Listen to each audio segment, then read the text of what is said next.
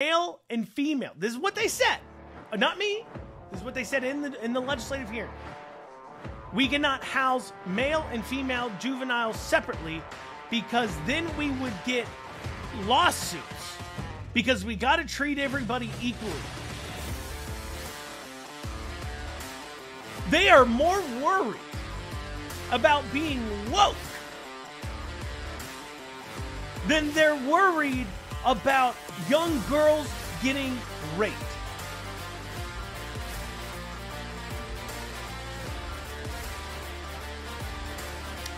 Welcome, everybody, to another amazing episode of the Andrew Cooperrider Show. Of course, I'm your host, Andrew Cooperrider. Today, we've got some wonderful topics we're going to cover. Of course, a revival breakout breaks out at Asbury. Um, we've hear a mix of opinions on it. I guess I'll give you mine. And uh, Beshear, reluctantly, uh, to a degree, signs the income tax cut. We'll take a look at his message and why he vetoed this bill that this is based off of last year and what had him change his heart so much. Really shows the disgusting side of politics. And then finally, juvenile justice reform on the march here in Kentucky. In one way, looking to, of course, increase. Um, increase the amount of I, I, I guess you could say increase punishment for minors. Um, so they're not just getting slaps on the wrist when they do some pretty major things. But at the same time taking a look at our juvenile justice systems as we've had some huge problems over uh, the last year or so in our juvenile justice system. So we have all that here today on the Andrew Cooperrider Show. Before we get into it, please hit the share button, like, comment, subscribe, tell other people about the podcast. Of course, as always, I appreciate your time, attention, your energy. I appreciate you guys uh, um, continuing to support us, support the podcast. Go on Andrew, the number 4ky.com, Andrew4ky.com. Give to the old treasures campaign because I tell you this much we got to get some things right here in this state and in this country. I personally am tired, tired of having politicians and elected people that we just can't trust. They're so dishonest. I'm tired of dealing with dishonest people. I know you are too as well. Let's make a difference. So please vote for me, Andrew Cooperrider for State Treasurer, and please support the campaign. Andrew, the number four, KY.com. Okay, let's dig into it. First off, we've got juvenile criminal justice reform becoming quite a big issue this session.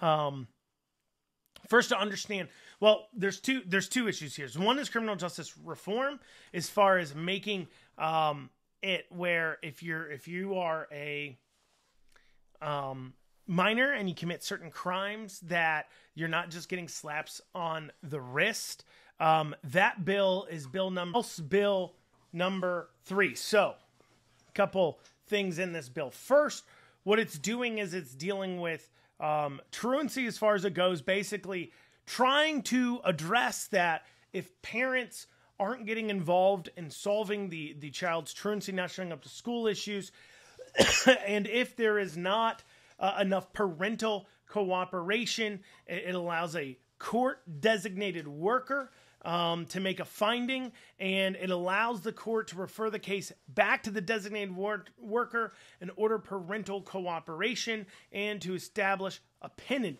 penalty. Additionally, as well, what it does is is it requires children charged with serious felony offenses to be detained pending a detention hearing and to be evaluated for treatments, mental health treatments, and everything else. It also makes it to where violent felonies, if they've admitted to it or been found guilty of a violent felony for five years, that confidentiality does not apply. So, right now, you see people that are 16 years old, 17 years old, committing major felony, violent felony crimes, being found guilty. And the minute they turn 18, their records are sealed. So, you've no idea that they just committed a violent felony, a violent crime two years ago. And that can be a, you know, expungement, record expungement, things like that. That can be a big problem. And so that's one of the things they're looking at uh, addressing. And then also, this bill addresses renovations Jefferson County Youth Detention Center. Listen, uh, listen to this story. Is crazy. For those of you unaware what happened, the Jefferson County Youth Detention Center was way over capacity. Way over capacity. And additionally, as well, they were uh, housing female prisoners with male prisoners. They were, they were housing young female uh, uh, uh, offenders with young male offenders together. You have a bunch of young adult criminals, 16, 17 years old boys, 16, 17 year old boys, and you're housing them 15 year old boys, 14 year old boys, just young adult, young men or old boys, whatever you want to call it. At a certain point in their life, they're already proven to be violent individuals, a lot of them. And you're putting them at a time where they're going to be at some of their one, their most aggressive uh, uh, because of how the hormones are flowing and everything else. And then two, sexually speaking, they're going to be most aggressive because of hormones flowing and everything else. And just, just the science.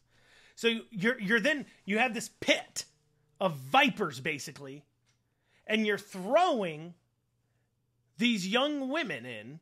I get it. They're also criminals. I'm not saying that, but they still don't. No criminal deserves to have to face sexual assault constantly.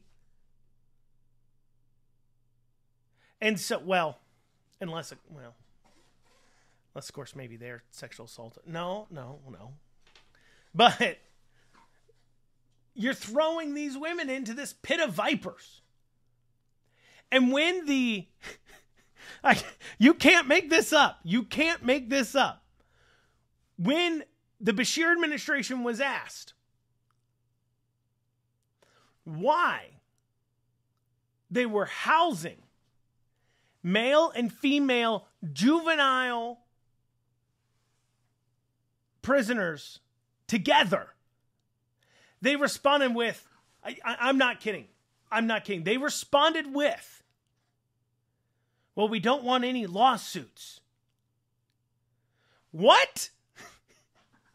As if we haven't been separating out male and female prisoners for like our entire history. They literally sat there and said, "Well, we this is what they said in the hearing. They said, "We cannot store store. We cannot house male and female." This is what they said. Uh, not me. This is what they said in the in the legislative hearing. We cannot house male and female juveniles separately because then we would get lawsuits because we got to treat everybody equally. They are more worried about being woke than they're worried about young girls getting raped. The Beshear administration. That is what they're more concerned about. That makes no flipping sense. It makes no sense. But they're more concerned about that. I, I, I, laugh when I hear people say, oh, Beshear's so caring everything else. He cares more about paying homage to his woke gods than he cares about protecting young girls. But putting that to the side, Jefferson County Youth Detention Center, it's overflowing, everything else. So what do they do? They have a riot. KSP's got to come in, they got to set that down. So they decide, hey, we need to make some renovations, we need to get this worked out. So we're going to spread these prisoners out. So they spread these prisoners out, and one of the places they go is out to Western Kentucky. Where there, in Western Kentucky, there broke out another. I mean, I mean, and, and, and when you say, well, what's the riots got to do with the overhousing and everything else? Because of the overhousing and because of the lack of staffing, they were not allowing them yard time. They're not allowing them time to to out of their cells. They were housing them in their cells alone or in their cells, um, you know, with maybe two, three other people, whatever. But they were locked in their cells, constantly not allowed out to roam or to the yard because of a lack of staffing, not because of the level of their crime, not as a punishment, but because they didn't have the staffing, they don't have the people, they don't have the facilities and way to safely let them out because of their failures, not because of something they did, because of their failures. And so when they do let them out finally, and then they go to put them back, they don't want to go back. They start rioting. That's what has caused several of these juvenile detention center riots that we've seen over the last year or so. And so out in Western Kentucky, we see another riot. And during this time, one of the guards, um, you know, they, they, they don't have enough people to put it down. They're calling in KSP. They're calling in people to help. One of the guards is in the control room. He can't open the door because if he opens the door, the the prisoners can can gain access. They can open up the doors and escape and and open up other cell doors and let out more people, causing an issue. So he can't come out. He knows he can't, but he's stuck in that room. And while he's in that room, he sees and hears a young female being violently assaulted. He says one of the worst things in his life because he couldn't do anything to help, but he could hear it, he could see it, and it was awful. Here in Kentucky, that was a situation that was promulgated by these policies policies of not having enough staffing, policies by not having enough people, policies of of not not prioritizing this correctly, policies of saying, look, we have to house male and female prisoners together. Something that anybody with a little lick of sense would say is wrong. But I guess that's what's wrong with so many of these politicians. Is they seem to have lost all of their sense completely. Completely. All right.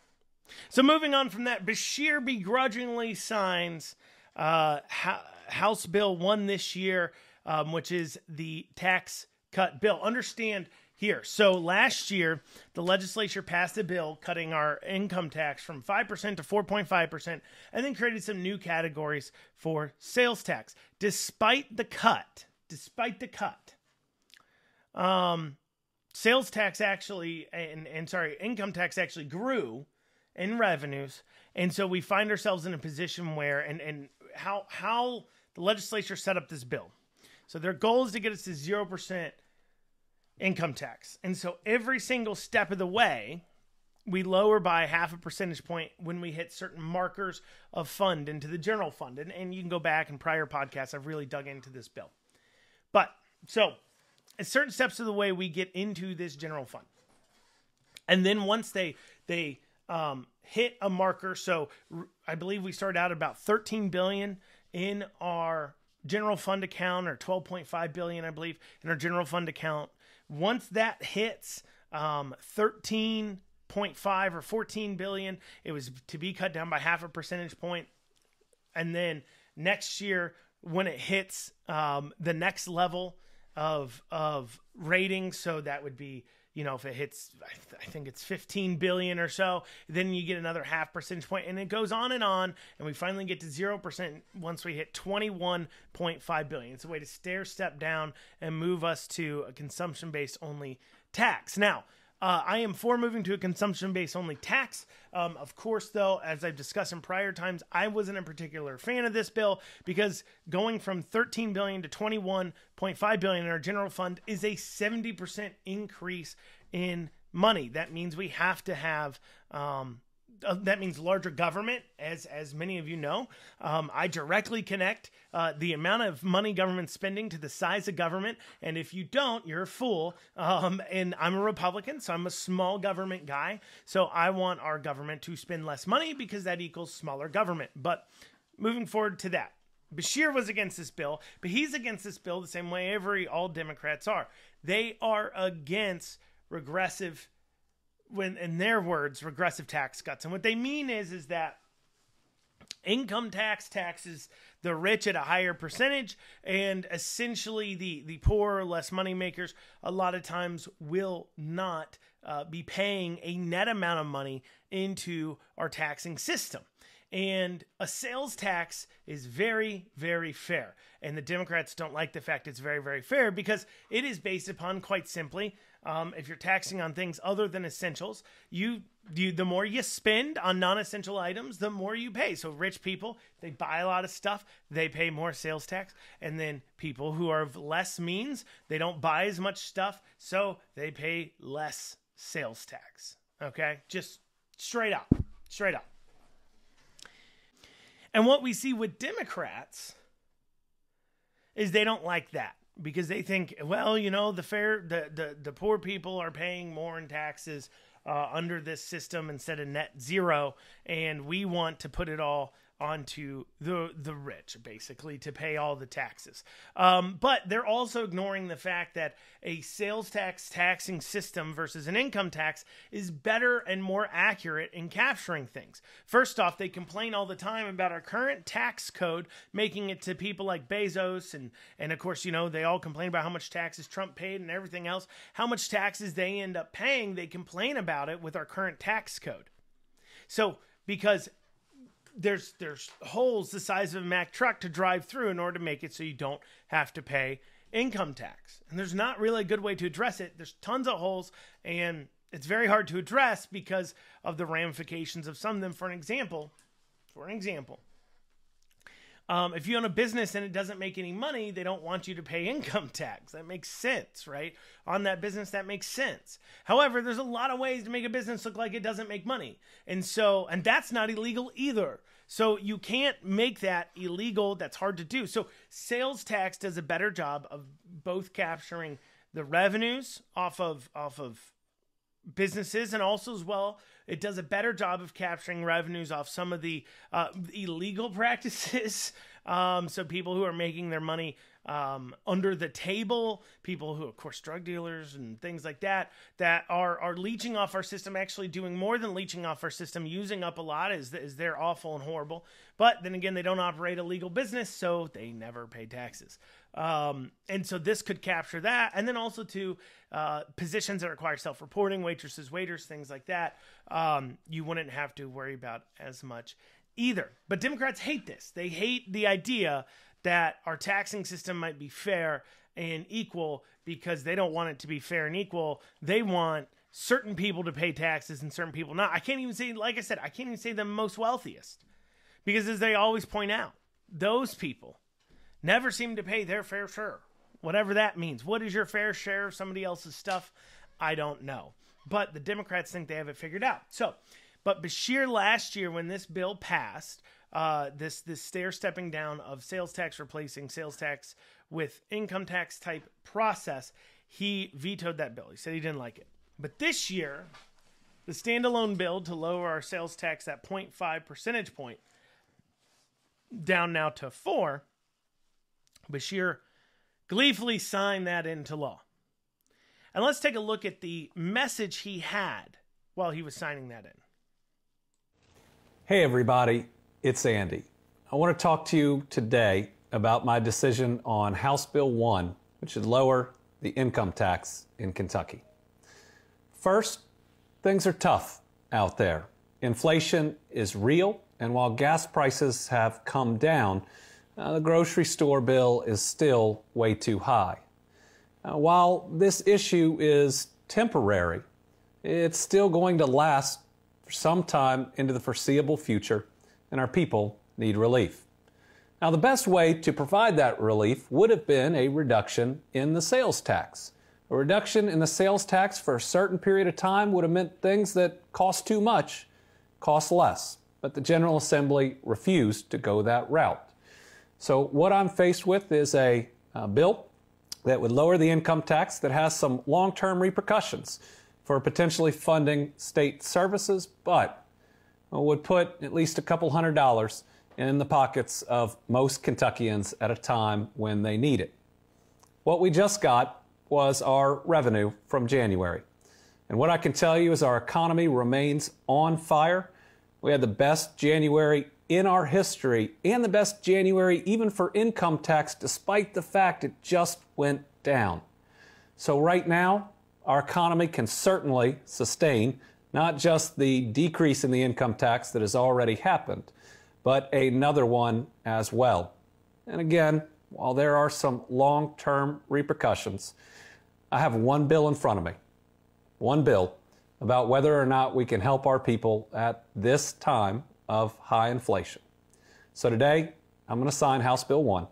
That's going to lower the income tax on Kentuckians.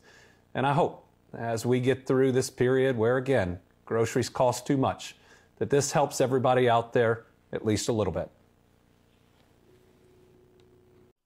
Well, it is very clear um, he was channeling his inner Obama there, um, certainly and for sure. And I, I tell you what, I, I literally went right after he got done speaking uh, uh, and listening to that video. I literally went and looked up an Obama speech, and I'm like, it is like sounds exactly the same. Uh, the cadence, the way he was talking, that weird slowness. It's almost patronizing in a way. Um, it, it really shines through there. But he signs the bill, and as he says, and, th- and this reveals a very gross side of politics, very gross side. He simply signed that bill because if he didn't, he would get a tack ad saying Beshear refused to lower your your taxes.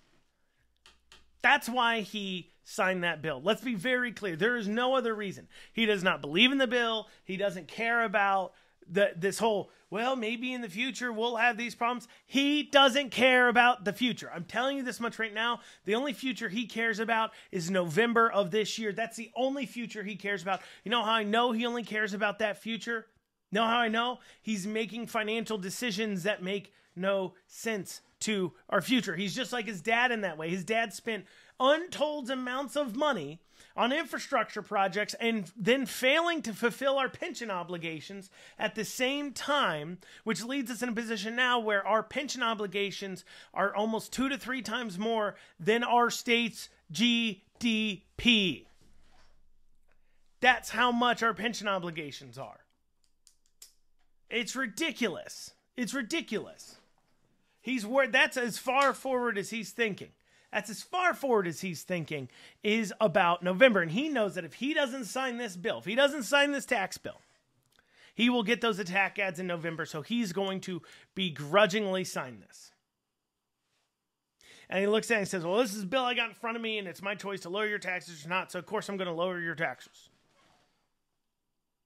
You know, eh, eh, completely ignoring the fact that based upon what he said in his last time about this bill, he brought up the very real fact that the poorest of Kentuckians do not pay an income tax.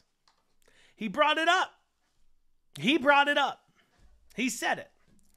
And so now he's signing an income tax and saying it's to help out our poor. Apparently, according to Beshear, they don't even pay an income tax. So what are you cutting? So he's admitted. He, he, he has admitted in a roundabout way he's cutting taxes for the rich, according to him, but he's only doing it and he's trying to wrap it up in this cute little bow, but he's really doing it because he knows that if he doesn't, he's going to be held accountable for that in November. He's going to get the attack ads, he's going to get everything else. Which is a gross part of politics because you end up in situations where you have bad bills sometimes.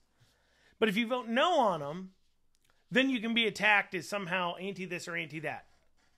One that Thomas Massie talks about is uh, there was a, a bill about reciprocity for guns, uh, concealed carry reciprocity. So, you know, if I have a concealed carry permit in um, Kentucky, then it carries over into any state. And he, but wrapped in that bill was also a, a registry, a firearm registry, a way that you'd register your firearms with the federal government. And Beshear said, Beshear, sorry. Massie said, my bad, my apologies. And Massie said, I will not vote for a national gun owner registry. So he didn't vote for it. But of course, he was attacked for not signing the reciprocity law. So he was called anti 2A when the bill was attacking the Second Amendment. And that's a position we find ourselves in in politics because, once again, as I said at the top, nobody is honest in politics. I am so, they're so dishonest and they're not straightforward. And part of it is because we have individuals that will take advantage of the fact our voters don't research and be able to cut things like this guy's anti this or this guy's anti that because they're finding whatever attacks they can find. And of course, the voter doesn't go and research and try to understand what the attack is, partially because it's hard to even understand what it is. But it's a gross part of politics and it leads to horrible situations. And that's why Beshear signed this. Not because he wanted to, not because he believes in it, but because he was forced to because of politics. Dig into it. We've got a revival breaking out at Asbury. It's been going on for about the last, um, you know, week and a half, two weeks now. Uh, as I understand it, Asbury's trying to wind it down, saying, "Look, we got to get these kids back to class. We got to get them in their classroom." I've heard a lot of opinions on this. Um, I've heard a lot of people uh, wonder, uh, is this a revival or it's not? I've heard some people um, poo pooing, I guess you could say, on um, what's going on there, and I've heard people really celebrating it. And and I want to give you my opinions. As as many of you know, I am a Christian. Um, I am um, a devout Christ follower as far as that goes. I've myself came to know Christ as a uh, young adult, formally and officially. I went to church growing up and stuff, but uh, officially and, and formally knowing him as my savior um, as a young adult. Um, I think I was, what was I, like 19? I was 19. And so, uh, obviously, as we watch what's going on at somewhere like Asbury, there's some skeptics. Skeptics wondering, are they worshiping the Lord as we know them? Skeptics wondering, is this really a revival? Is it being played up? Is it just a, a social contagion? And a long list of different concerns. In fact, I've even heard people talking about how um, some of these students leading in this revival are LGBTQ students and everything else, and just generally bringing up issues. So, first, I've got a couple thoughts. Here's my first one. Now, bear with me here. Okay. One, first thought is a revival, whether or not it, it, it, it, it is a revival or it has a lasting effect. Well, you don't really know if time can, will only be able to tell. That being said, let's call it a revival going forward. Of course, typically, like I said, revival is something you don't realize until you're looking back on it, probably, and realizing, oh, that was revival of Christian thought here in America. So putting that to the side, but we're going to keep calling it a revival as far as that goes. Look, let's say you fall into the category where you're dubious over some of these things, and and, and I understand why. I understand why, because let's face it, what's called spade a spade. Um, there are certainly some churches. We see churches celebrating LGBTQ lifestyles, marrying gay couples. We see couple, we see churches changing around the doctrine, trying to kind of retcon the Bible. Also, we do see this push um, for this this. I, I guess I would call it. I see a confusion going on in some Christian churches, and they're confusing love for acceptance. Now, follow me here, okay? My mother growing up made it very clear that if I ever committed a crime, she would be the first person to report me to the police. Now, some people would say, some people would say that your mother didn't love you because she'd report you to the police. Some other people would say, no, there's a difference. See, my mother still loves me unconditionally, cares about me.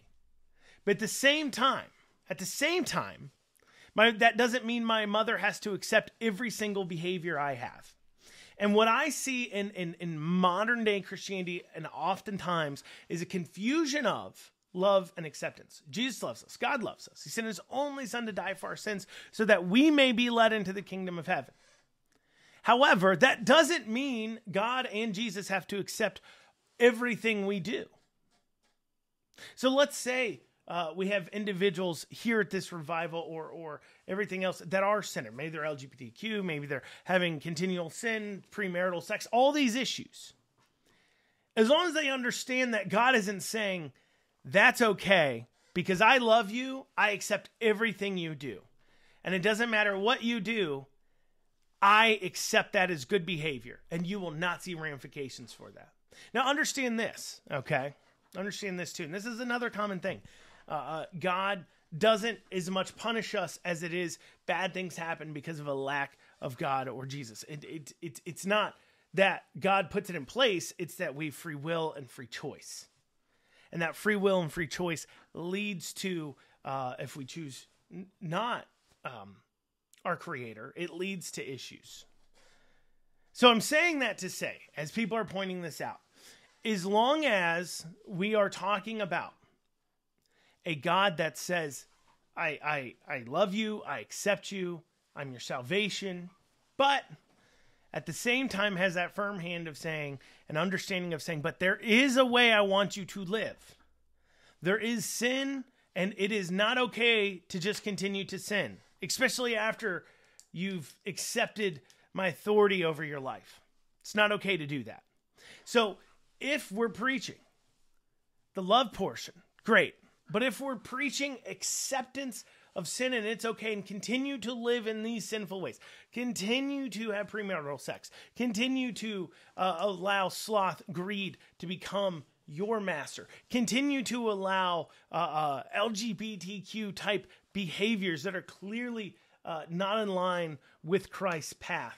Um, to if, if if you continue to do those things and then somehow persuade yourself that God accepts that, you're mistaken. And we in the society so often we confuse love and acceptance. But let me get off my preaching block for a second. Let me ask this question though to those people who want to attack the revival. What else would you rather the kids be doing? I mean, just be honest here. Just let's be honest. We got a bunch of young adults. What would you rather they be doing? I would rather they be in church singing Christian songs and praying to God than be drinking or carrying on on the weekends.